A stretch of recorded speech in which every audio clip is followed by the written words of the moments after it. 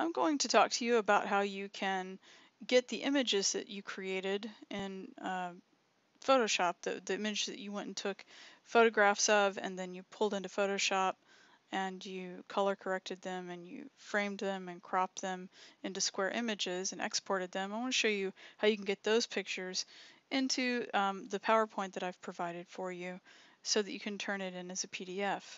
So first thing is that you'll notice that I'm in my project one folder and so if you look here I've got highlighted my Photoshop artboards for cropping photographs folder. You might have called yours something different but this is uh, what I was calling mine. So what I've done is I've downloaded this file that's called Learning to See Design Photography 10 by 10 it's a PowerPoint file. And this is to keep things a little bit simple in the beginning of the semester. That's why we're using PowerPoint as the thing that you can drop your stuff into. More people are going to be familiar with PowerPoint than they are, say, with something like um, InDesign, right? Which I don't want to get into. Um, uh, so we're going to use this kind of as like a repository uh, so that you can see you know how you can lay out your work in a grid really easily. Now what's kind of nice uh, is that basically the slides that are in this PowerPoint, if we go ahead and open it up, are the same slides that you're going to see uh, in in the ending of the entire project one where you have to put an entire book together of all of the stuff that you've done so far for the project and uh, well it's selective choices but uh, one of the things that is in that book in that it's called the foundation design book and for each section will be the set of slides that you're creating here. And what's going to be nice about that is that once you do all the work and you turn it in for this first, uh, you know, like the zero phase assignment, then what you'll be able to do later is you'll able to be able to take your completed slides over in this left-hand uh, browser pane, and you would literally be able to over here copy that entire slide and then paste that entire slide somewhere, you know, in between. See where the orange cursor is blinking, you know, I could go in here and I could right click and I could say paste and it would paste that slide into a completely different file, which is really nice. And and then you could just remove the slides that were like the placeholders. You know, what you turn in here, you're also going to be able to reuse it again. So make sure that you actually do this assignment because you're still going to have to do it later no matter what to get credit for your other part of your book. So anyway, let me show you really quickly how you can easily insert stuff into here. First of all, I want to scoot this window over and I want to show you where I downloaded this file called Learning to See Design Photography. I downloaded it inside of my um, my Photoshop artboards folder. It's the one that I said you may have named yours something different, but basically it it's the you know first assignment uh, that we're going to be turning stuff in for with the photography. And so right here, uh, you'll if you look down, this is where I had created my new assets folder. You should have done something similar.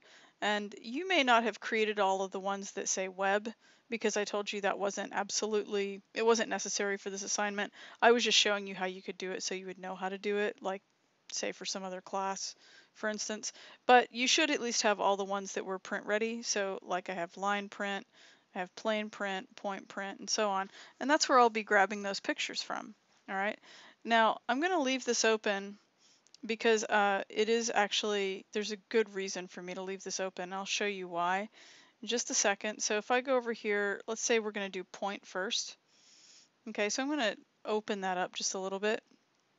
And when I come over here in PowerPoint, one of the things that I'm going to do, first of all, I'm going to close this up just a little so it's not taking up my entire screen because it's it's not necessary right now that it does. Okay, so I'll come over here like this and make sure that you've got the first one selected and whenever you look at it that down here it says point where it says learning to see blah blah blah make sure it says point okay so that we know we're selecting the right thing and then I'm going to right click inside of this uh, square and I'm going to choose format shape.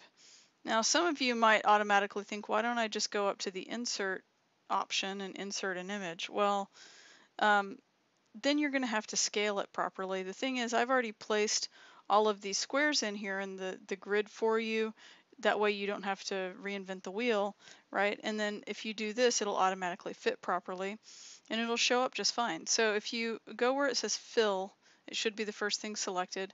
And you're going to click over here where it says picture or texture. And then you're going to say from file, choose picture. And then automatically it's going to try to go to um, the clip art section for um, the Microsoft Office uh, PowerPoint tool. So one of the things that you can do really easily, it's kind of nice, at least you can do this on a Mac, um, and uh, you can go over here to the file folder that I had open before where it says uh, point print and I can just sort of grab that and drag it there. That way I don't have to go searching all through my file system for that folder every single time. Okay, and so now that is, uh, it's already selected that as the chosen picture. And what's nice is that because when I exported everything, it exported everything out serially, you know, with the one, two, three, four, five, six, and so forth at the end. I can just choose based on the number because I was really careful to make sure that my artboard numbers matched the order of my grid, right? So I'm going to click on insert and you'll see right here that I can click OK. And right off the bat, here I'll just, I'll swap these out since I need to have this on this side anyway. And what's nice is that it's got my picture in there and it's exactly uh, fitting perfectly the way that I expected it to. And one thing that I, I have noticed is that whenever I look at it here, it might look a little a little fuzzy, but whenever you go to export it out as a PDF, it doesn't look fuzzy at all. Okay, so again, let's do that one more time and we'll go right click inside of that, say format shape, and then you go over here to picture texture, choose your picture, and see even though last time I changed the, the location of where I was picking from, it keeps defaulting back to the same place. So that's why it's so much easier for me to, to just come over here and just drag the picture in there. I can say insert, okay, and then just keep going on.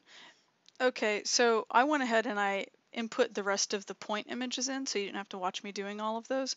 One of the things that I wanted to show you before I go to export is that you still need to go and put all of your other ones in, right? So if you look down here at the bottom, um, this says, here, let's blow this up a little bit.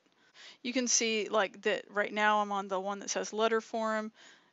This one's texture, right? This one's plane and this one is line. And the one that I had already done was point. Okay, so make sure that you're doing the right one whenever you um, start to input these things.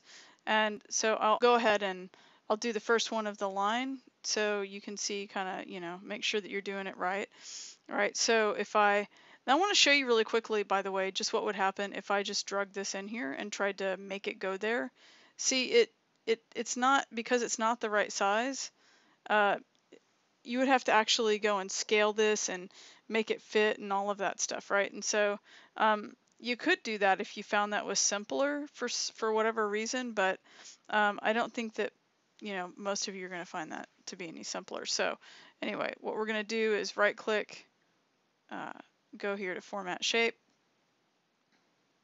choose that picture again, and then instead of doing what I did before, where I just drug the picture straight in there, I'm going to make sure that I am picking it from my list here.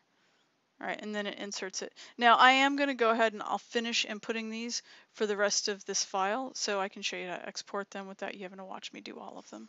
All right, so I just finished doing uh, the rest of them. So uh, this is the line, uh, here's plane, texture, and letter form, okay? And so now if I want to export all of that, first of all, I'm going to go ahead and make sure it's saved. Uh, and I did that with a key command, or you could come up to File and Save. And now what I want to do is I want to say Save As. And now I'm going to make sure that I'm saving it in the right place. And instead of saving it as PowerPoint, I'm going to come down here where it says Format, and I'm going to choose PDF.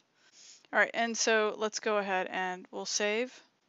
And one thing that it did is let's go ahead and do this. It popped in over here. And then there's my PDF version. And so one thing I, I didn't do though, and this is what I want you to do, is I want to make sure that you put your last name at the end. So you would put last name before you turn it in.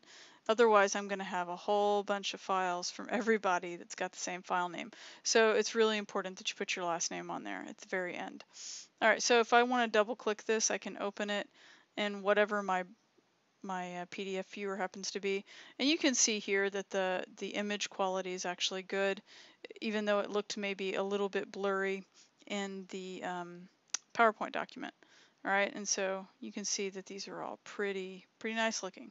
Okay, and so that's all you have to do. And then this is the file that you'll end up uh, upload, uploading to Canvas for your photography phase um, in the learning to see phase uh, in that discussion. And then later, as I remind you, I'd like to remind you again not to get rid of this, of course, because this is going to be the PowerPoint where you can copy these slides and then just put them directly into your final book because these uh, pages will be something that you need to have in your final book. That's it.